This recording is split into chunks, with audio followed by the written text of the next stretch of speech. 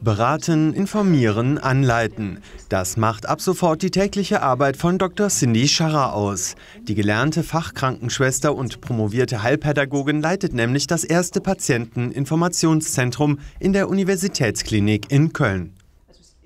Wir werden dem Patienten helfen, gute Informationen im Netz zu finden. Also es gibt sehr viele gute Informationen, es gibt aber auch viele kommerziell veranlasste Informationen und viele von minderer Qualität. Da helfen wir ihm eine gute Auswahl zu treffen. Dann haben wir Informationsbroschüren für verschiedenste Interessensgruppen. Wir stellen den Kontakt zu Selbsthilfegruppen her. Wir beraten den Patienten und seine Angehörigen zu jedem Bereich seine Krankheit oder seine Gesundheit betreffend.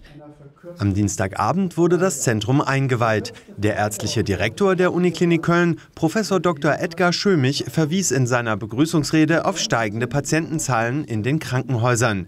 Dies führte dazu, dass Ärzte weniger Zeit hätten, die Fragen ihrer Patienten im Sprechzimmer zu beantworten.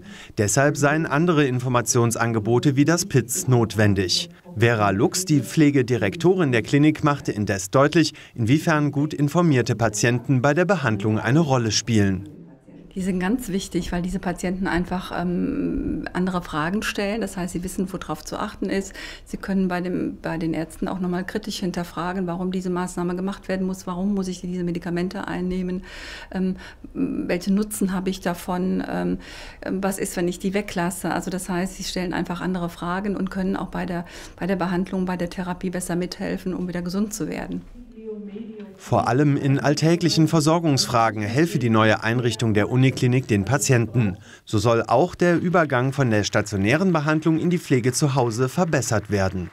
Viele Patienten äh, sind nicht ganz geheilt oder gesund, wenn sie nach Hause gehen. Das heißt, es ist immer noch Versorgungsbedarf, entweder bei der Medikation, bei Schmerzen, bei der Wundversorgung, ähm, bei der Mobilität. Und das heißt, wir können genau zu diesen Fragen, die Sie haben, wie komme ich alleine zu Hause klar, was muss ich tun, worauf muss ich achten, ähm, wann muss ich eventuell auch nochmal wiederkommen zum Arzt gehen, äh, auf diese Fragen können wir eingehen und können eben da Hilfestellung leisten und beraten und anleiten. In einer Diskussionsrunde wurde unter anderem über die Zukunftsfähigkeit des PITS-Modells auch über die Uniklinik hinaus gesprochen. Demnach sollte es das Ziel sein, mehrere Anlaufstellen in Köln aufzubauen.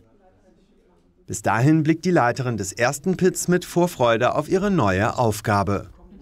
Worauf ich mich am meisten freue, ist, mal wieder richtig die Patientenperspektive einzunehmen. Das heißt, mit den Augen des Patienten zu schauen, da ist ein Mensch mit seiner Krankheit, der jetzt zu Hause in seiner Lebenswelt zurechtkommen muss und wirklich ganz spezifische Fragen hat, damit er seinen Lebensalltag bestehen kann. Das Patienteninformationszentrum hat täglich von 15 bis 17 Uhr geöffnet. Es werden Schulungen, Vorträge und Möglichkeiten zur Selbstrecherche angeboten. Außerdem können persönliche Beratungstermine vereinbart werden.